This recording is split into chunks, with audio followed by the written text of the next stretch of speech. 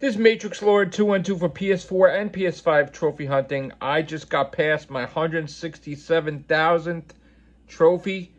Check out the stats.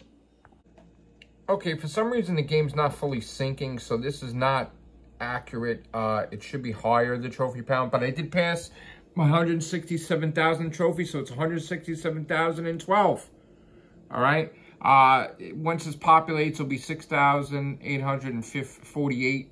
Uh, the numbers are not even right because, again, it's not at uh, 45%. I already got the trophy. I don't know why it's, it's not popping. Uh, the game was Tower.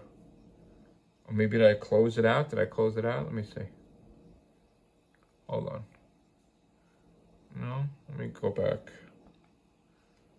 Go back in and see. Excuse me. I don't know why it's not um showing. I did everything in the game. Um, I got the money past that. So it should, I mean, here is the, show it to you. I did get the platinum, it's just not counting, it's not syncing yet, but there it is. So, I don't know what's going on there, but, all right.